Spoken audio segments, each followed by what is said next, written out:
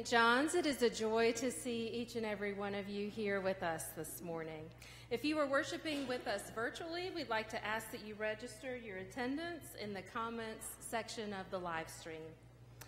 If you are visiting with us this morning, we invite you to fill out the Connect card in your bulletin. Members and visitors alike are invited to share that with just the staff and the pastors or with your, um, the rest of your church family. You may hand the completed cards to a staff person or an usher, or you may leave them in the offering plate located at the front of the sanctuary on your way out this morning. It's not too late to pick up your copy of The Walk, the book that we are using for our sermon series over the next several weeks. Copies of the walk are available in the lobby, or you may also order them from Amazon if you prefer a Kindle or a large print edition. This is an easy read and a good book, so that we, we hope that you will join us. Don't stay home if you forgot to read or you fall behind. Um, you will be fine. We want you to still come to church, even if you have not read the chapter for the week. This morning we're covering chapter one. Next week we will cover chapter two. We're also having chat back sessions at 10:15 right across the hall in room number 211. We would love for you to join us there. It's an opportunity to talk about the book and how it impacts our lives as well as our lives together as a congregation. The hospitality team is meeting tomorrow, April the 19th at 7 p.m. via Zoom. If you are part of that committee, a link will be sent out um, via email. The finance committee will not be meeting on Tuesday. And we have good news for you this morning, and that sign up for worship is no longer required. Um, you guys have been really great about signing up every week and letting us know when you're coming. We did that so that we could manage the numbers during COVID and make sure that we were staying within the recommended guidelines. We've been able to do that, um, and so we're not going to ask that you continue to sign up. If something changes with COVID or if something changes um, with the, the management of, of our um, numbers in worship, then we may revisit that. But for right now, you no longer need to worry about signing up in order to come to church on Sunday morning. Let us continue our worship together as Mary Watson brings us this morning's diaconia.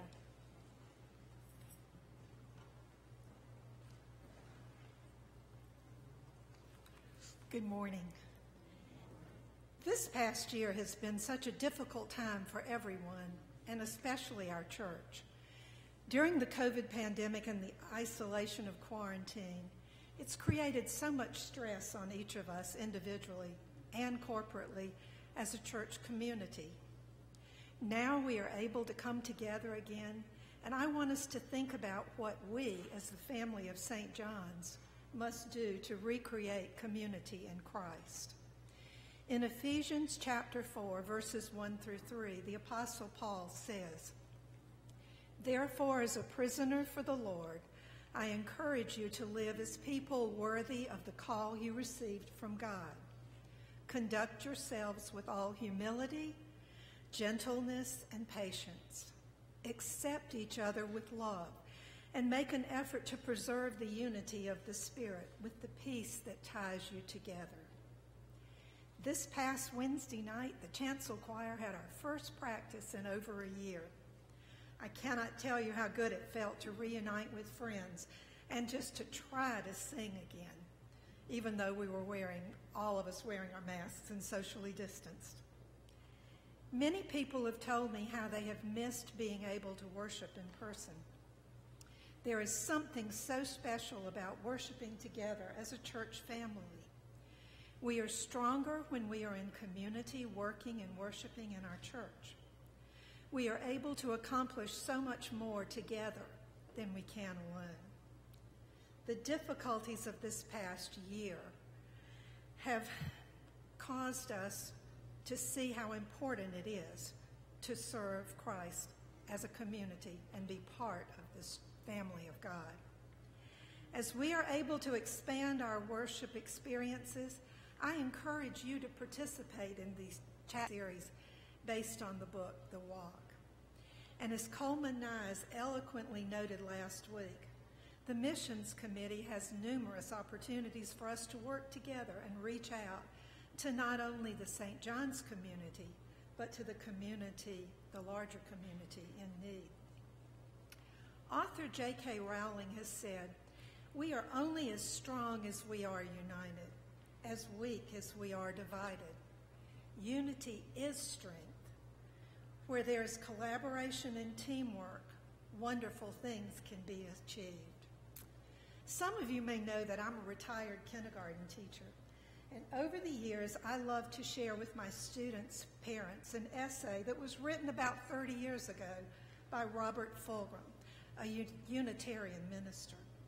It was called All I Really Need to Know I Learned in Kindergarten. And I'd like to share just a part of that with you today. Fulghum said, All I really need to know about how to live and what to do and how to be, I learned in kindergarten. Wisdom was not at the top of the graduate school, and these are the things I learned share everything, play fair, don't hit people, put things back where you found them, clean up your own mess, don't take things that aren't yours. Say you're sorry when you hurt somebody. Wash your hands before you eat. Flush. And warm cookies and cold milk are good for you. When you go out into the world, watch out for traffic. Hold hands and stick together. So everything we need to know is in there somewhere. The golden rule, love, and basic sanitation. And it is still true no matter how old you. When you go out into the world, it is best to hold hands and stick together. Now, let us continue in our worship.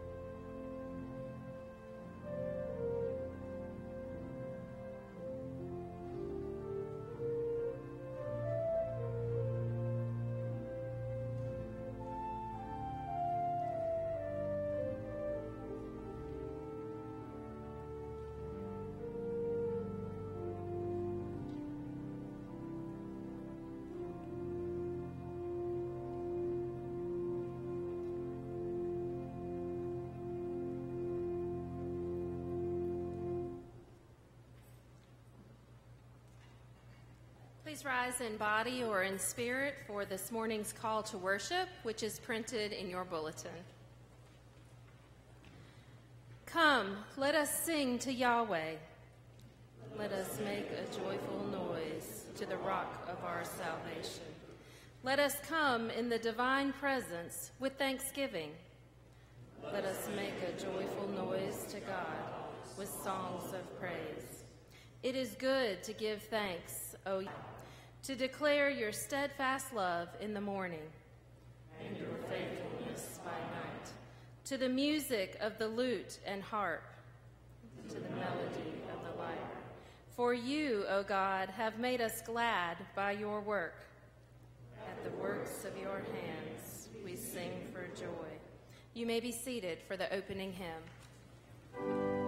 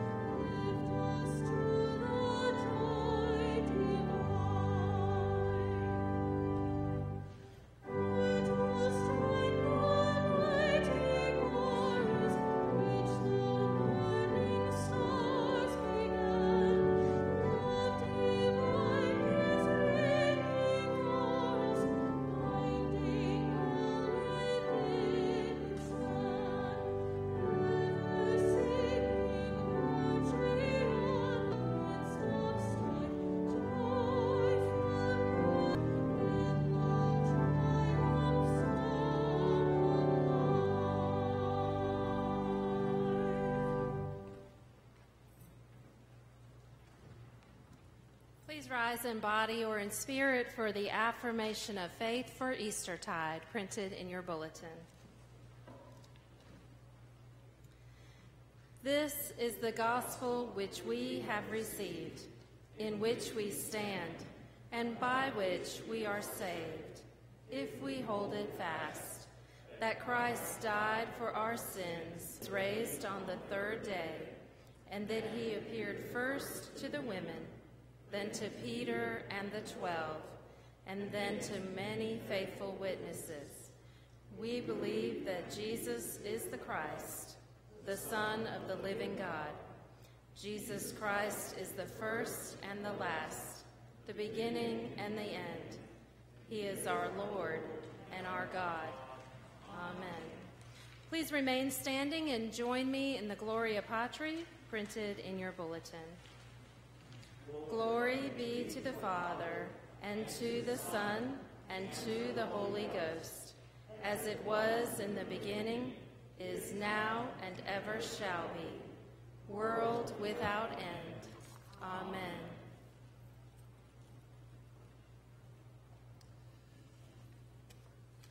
The peace of the Lord be always with you.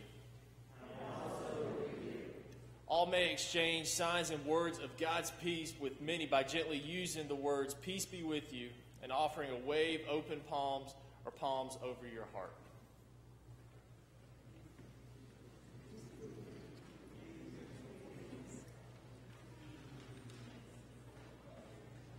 Amen.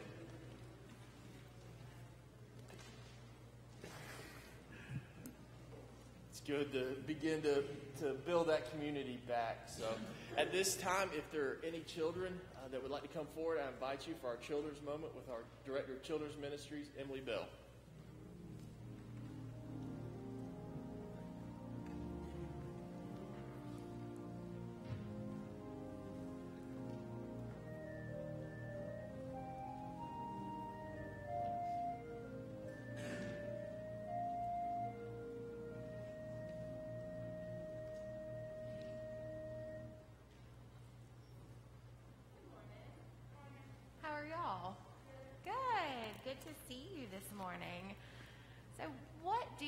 Think of when you hear the word worship? God. Good answer. Yep. Jesus.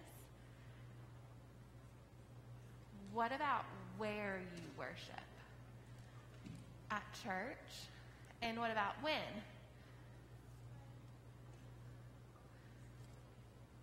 Every single day. And on Sundays here together? together. So, an important part of worship is being together. All of us working together, listening to worship songs, saying our affirmations of faith, and just being in community with each other to feel that love together, right? And then what do you think of when you hear the word prayer? Yeah. When you're praying for something. Mm-hmm. When you're praying for someone. God, good answer. So how how do you pray? How do you start? Do you have to have like a, a special way? Anything special? You say hello. Good answer. And you just say hello? No. you can bow your head. Yep. Dear God. Absolutely. You just start talking, right? Yeah, exactly. You just start. You can say, thank you. You can say, you're, yep, you can say those things. well, do y'all want to pray together and we can hear more about how worship and prayer are important? Okay. Dear God, thank you for bringing us together for worship and giving us time to pray. Amen. All right, good job.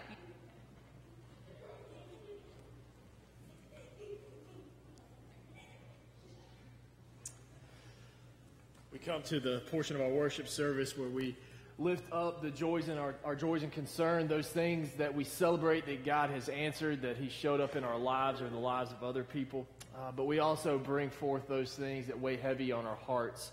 Uh, this morning, we want to remember Cheryl Hughes, who will be having back surgery tomorrow. We want to continue to remember uh, Be- uh, Beverly Moon and uh, Lily Jane Long as they're continuing cancer treatment. And uh, we also want to remember uh, the tragic events from a little over a week ago. we want to remember the Adams family and the Leslie family as they still mourn those losses. Uh, and then in the wake, uh, in the not wake, but in the recent days, just in Indianapolis, we heard of the tragic events there. And uh, I believe Pastor Dave is going to reference it in his sermon, but in the last 30 days, there's been 45 similar incidents. I want to lift up all these situations to God and I just pray for his mercy and his grace on us. So I invite you to pray with me this morning. God of dawn and darkness, Lord, we're grateful for your loving mercy. You've seen our fear and our doubt, our suspicion, our mistrust. And you banish them from our lives and you've replaced them with hope, peace, love, and joy. And you've called us to be your witnesses to all the world, unafraid of what others are going to think of us or say about us. God, we've been invited out of our darkened hideaways and into the light of your world as emissaries of hope, justice, peace, and compassion. God, be with us as we participate in ministries of healing and of hope through this church, your church, St. John's, in our community, in our region, in our nation, in our world. God, give us courage and strength to be your disciples in all the circumstances of our lives. God, and for those of us who are, are hurting, who are trying to wrap our, our heads around uh, recent events, no matter what they are, God, I just pray that your presence would be real, that you would make your presence alive to us. God, that we wouldn't try to lean into our own understanding, God, but we would lean into you. And that we would look to the Gospels, look to your word. We would see the life that your son lived, which was a life of leaning into you. And We would use that as an example. God, as we come to you in prayer this morning, that we would also use his example of prayer as we pray, Our Father, who art in heaven, hallowed be thy name. Thy kingdom come, thy will be done, on earth as it is in heaven. Give us this day our daily bread, and forgive us our trespasses as we forgive those who trespass against us. And lead us not into temptation, but deliver us from evil. For thine is the kingdom, and the power, and the glory, forever and ever. Amen. We now come to our uh, portion where we give back what God has given to us. Uh, we're talking about worship today uh, in our kickoff of this series. And giving, tithing is a response to what God has done in our life. So I invite you to do that this morning. There's a couple ways that you can. You can give electronically through our St. John's UMC Rock Hill app, or you can text St. John's RH Give to 77977. This is especially for our folks who are worshiping, worshiping with us online. And as always, as you exit the sanctuary in the annex, there's an offering plate available for you. So the Lord be with you as you consider your giving.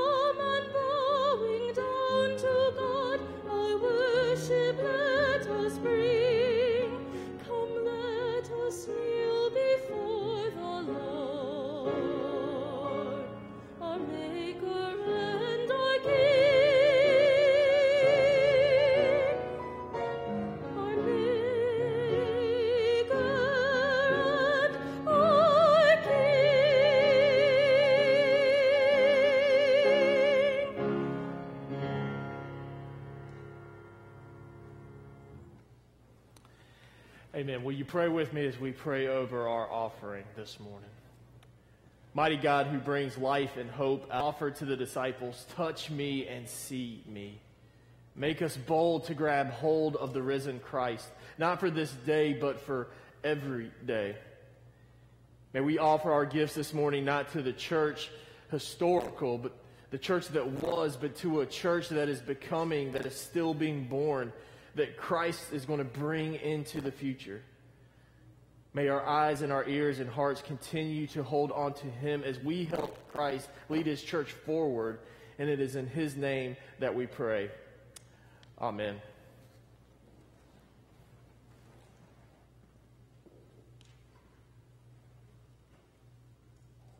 Grace and peace to you. It's wonderful to see a few more folk here in the sanctuary uh, and to greet you today in Christ's name.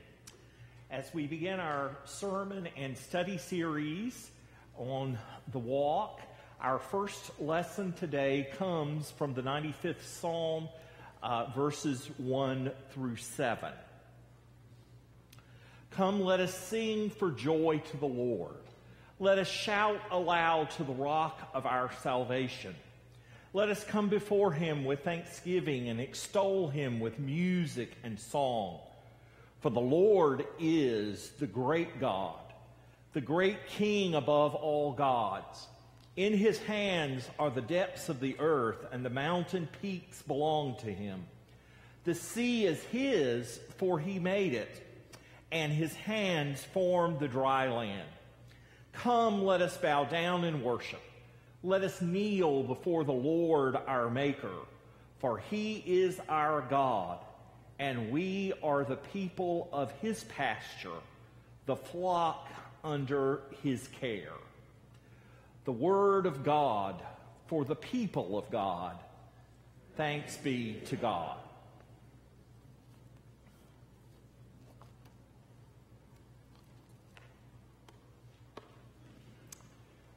If I ask you what makes the church unique, what characteristic or activity or event makes the church special, unlike any other group or institution that you might be part of? Now, those of us who like to eat might say maybe covered dish suppers, uh, could be Bible studies, could be sitting in pews. Where else do you sit in pews?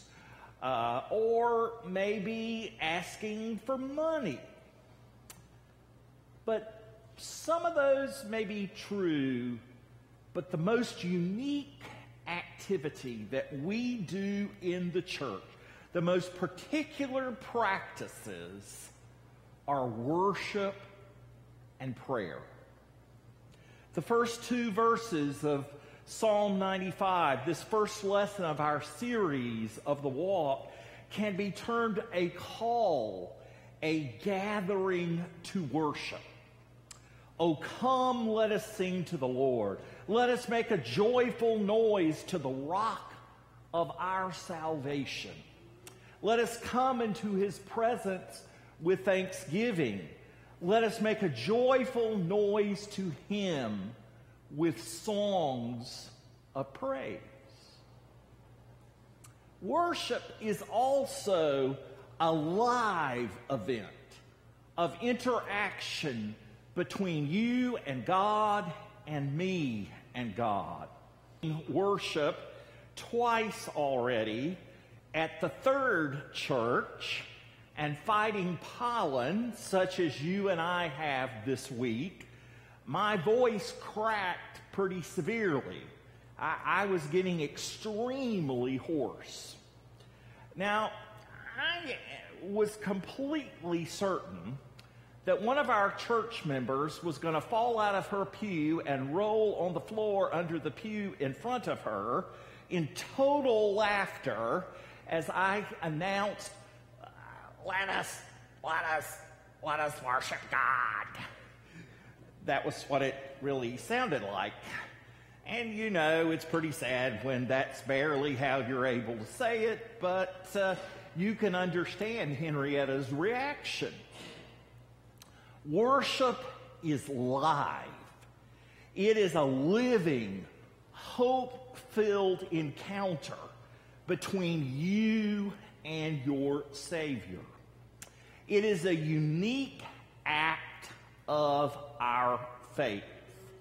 And it is the first of Adam Hamilton's five walk habits that we are going to look at, which are routines for better, more faithful Christian living.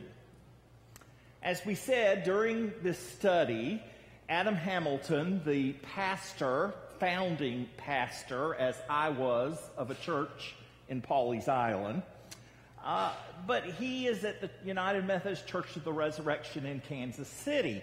And he's going to highlight these five essential uh, characteristics, traits, habits of Christian living, of walking behind our Savior. They are studying, which we will look at next week Giving, yes, we're going to talk about that one, sorry. Uh, sharing. And first this morning, worship and prayer. We'll explore one spiritual discipline for each Sunday for the next five weeks. Now, the idea of walking, this imagery of your and my faith as a walk is found in Scripture both in the Old and the New Testaments. The spiritual life is to be one of walking with Jesus each and every day. And we hear in the old gospel hymn of Jesus talking with me and walking with me. These spiritual practices will help to keep our faith fresh, healthy, and growing, and to abide and continue to abide in a deep love with our Savior requires focusing upon these critical exercises, much like you do with your physical and mental health. As I mentioned, establishing a church, Don and I were assigned by the bishop to start a new congregation at Pawleys Island in Litchfield Beach a number of years ago. We used volunteers in our office. One of our office volunteers, when the phone was kind of quiet, I noticed would be doing the crossword puzzle almost every time. I think she came on Wednesdays. And I asked her, I said, Val, why do you do the crossword puzzle? She said, I'm retired and it keeps my mind sharp. Similarly, these habits are in sharp and alive. And if we're going back to the basics in this sermon and in this series, maybe it's helpful to ask what is exactly this thing that we do week in and week out called worship. How would you define it? Adam Hamilton gives a variety of different ones. We could ask, is it fish or fowl or funny? Uh, and you know, now we don't really think about it, but to people outside of the church and people who haven't been in the church, uh, what we do is a little odd, maybe, uh, out of the ordinary, not understood. I mean, some of them even may think that I tame snakes, or you are led to talk or shout in strange ways, or that Ryan preaches all his sermons in Greek and Hebrew. And we know none of that's true. And I'm just being silly. But what exactly is worship? The wonderful Catholic writer Evelyn Underhill stated, Worship in all its grades through the eternal. How we respond to God as His created persons. It's what you and I do to answer, to respond to Jesus' amazing love and His amazing grace and, and His presence all around us, uh, where we see God in creation and the concern our children have for us. As a older parent now, sometimes I appreciate their concern and sometimes I don't. You may know what I mean, you know? My son, in the height of, pan, of the pandemic, said, Daddy, why do you really have to go to Target? Is there something you really need? Well, it was, it was out of concern. It was an expression of him showing God's love to me. It could be in the friendship of your best buddy or gal. It can be in your fellow church members, as Mary spoke of so eloquently earlier. Worship is first and foremost a praise to God. It is a humbling of us in adoration and amazement for what God has done for us. It is a hallelujah, an act of great excitement, great devotion, great enthusiasm to our great God. And as I said earlier, it is the most core action of faithful disciples. Many of you, I'm sure, have are aware or know or have seen his name, the great musical composer Johann Christian Bach. He stated that all music should have no other end and aim than the glory of God and the soul's refreshment. And then he added on a note, he said, Where this is not remembered, there is no real music, but a devilish hubbub.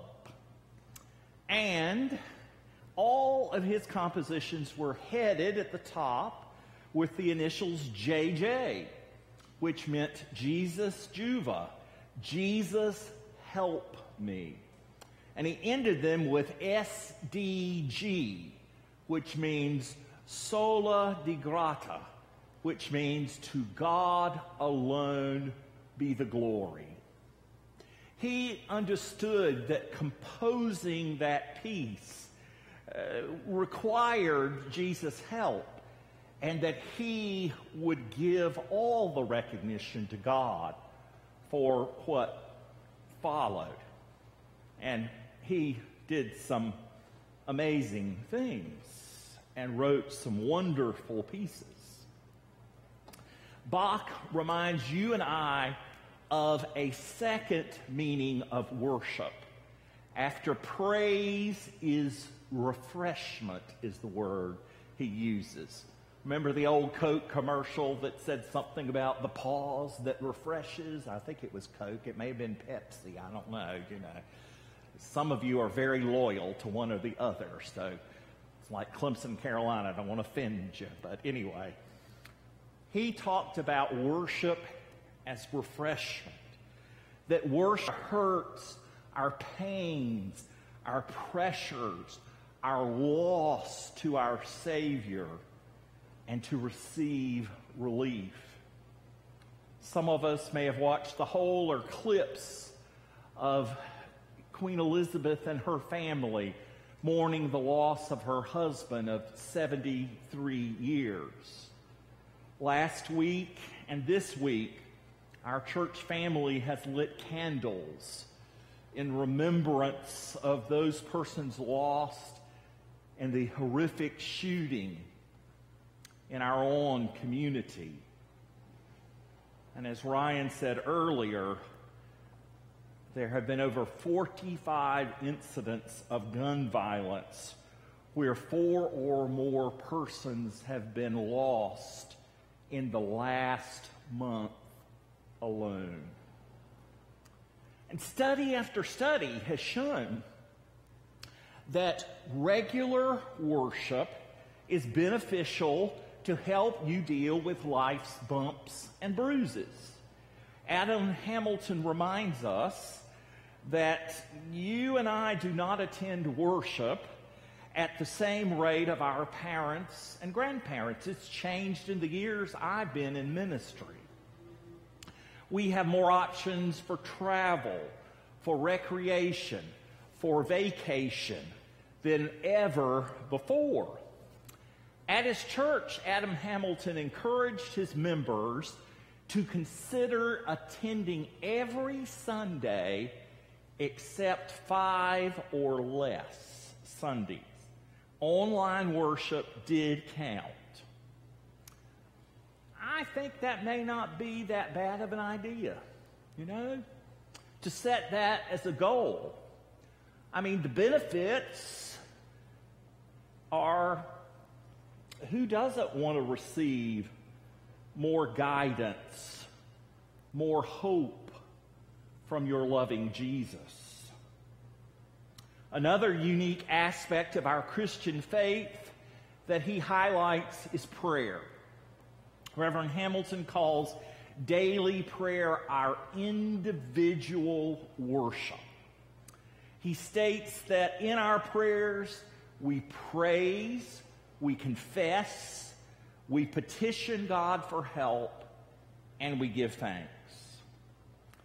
I don't know about you, but I have to confess that I have far too high a percentage in my conversations of whining, complaining, and frustration. And I suspect that for a few of us, when you hear the word prayer coming into your mind, it kind of translates through the electronics of your brain to getting something. Many of us consider prayer to be that. I call them stoplight prayers. You know, you're at the stoplight, dear Jesus, please get me through this light, get me around the corner, uh, you know, help me find a parking place. I'm not saying that's not good. I'm just saying there's much more to prayer than petitions. A 2012 study involving 2,000 adults found that only 52% of women and 44% of men take time to express, instead of complaining, gratitude. Gratitude. Worship and prayer is appropriate to God, but it is also important for your personal, emotional, and spiritual well being.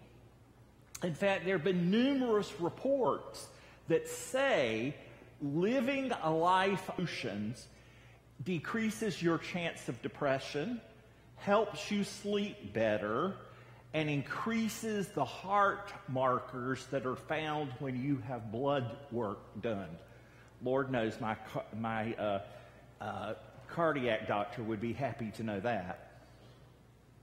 Paul in 1 Thessalonians asks you, rejoice always, pray without ceasing, give thanks to God in all circumstances for this is the will of God in Christ Jesus for you. Now, going back to the beginning of the sermon, I hinted at what is another purpose of worship it is to connect us, to bring interconnectedness between you and God, between me and God. Uh, it is to hear and observe God's direction and guidance as you have not before. Adam Hamilton and I have found that it is more helpful when you prepare for what will happen in worship. Arrive early enough.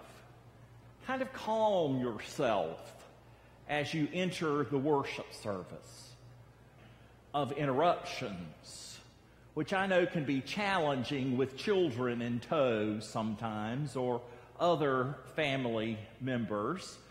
I, I, never really had the experience of getting children to church because of being back here. That was Donna's job. But the signal cannot come through when the path is all cluttered and cloudy. Growing up in with my parents, we usually follow the same route from our house to the church. It's about 10 or 15 minutes to drive. And invariably, when we got to one certain insurance office building, one of my parents would look back at my brother Dale and say, Did you wash your glasses this morning? I, it was just a habit at that point, evidently. Sometimes he had, sometimes he didn't. I'll tell you about glasses that he had that he soaked on another occasion. Anyway, there was this often mad dash for a tissue or a napkin to ensure, ensue and clean the dirty glasses. You see, a real threat was not going to that St. John's church with dirty glasses. Worship required that preparation to get the most out of it, to get really connected with God, even your glasses had to be clean. For worship and prayer to really make a difference in your life also requires that these moments not be centered necessarily on the temperature of the worship space or the light bulb that may be about to go out, or even if you're not fond of the preacher's bad southern accent. For worship to be effective, to make a difference, to be life changing and value shaking, requires that we focus, we center on Jesus. That's why we put a cross here at the center of our worship life together. Because it reminds us of what He has done for you and me and how He challenges us to be better, more giving, disciples and followers. Sometimes that's difficult for us to get our toes stepped on in worship. But there is a prophetic tradition, especially in the Old Testament, that talks about how we are to dust off our living when we come to this place. Worship, contrary to a lot of churches today, is not intended to be an entertainment experience, to be bigger and better. It's not to be about me or Ryan or Sarah or Timothy back there, even though we are here to facilitate your worship. It is to see Jesus and praise and honor him. One of the very best sermons I ever heard preached was by a Roman Catholic nun at the Poor Clares Monastery in Greenville. And some of the toughest and most difficult sermons, can we turn the camera off at this point, please? Uh, to hear were from a United Methodist bishop or two. I've probably gone to meddling and I might get in trouble. It was quoted yesterday that Prince Philip really liked all types of worship, but he especially liked worship that was brief, he said. Worship is to be this living hallelujah. It is to be first and foremost a time of praise, honor, and appreciation to our Heavenly Father. It is not solely a time of always getting our needs fulfilled. That's part of it, but that's not the greatest marker of worship. Because as I said, sometimes worship should challenge and push us to think and live in new and better and more Christ like ways. And that leads you and me to the adjective that Adam Hamilton gives about worship. It is alive. It is a living action. It's something that we do with all of our life, not just when we're sitting in the pew. And it should make us think and hope and serve in better, more holy ways and make us more and more like Jesus. I think that's what happens when you and I really, really connect, when we really get on God's wavelength. One of my favorite hymns expresses what the heart of worship is truly all about. I heard it first in chapel at Duke Divinity School. Lift high the cross the love of Christ proclaim, till all the world adore his sacred name. So shall our song of triumph ever be. Praise be to the crucified for victory. Lift high the cross, the love of Christ proclaim, till all the world, all the world, adore his sacred name.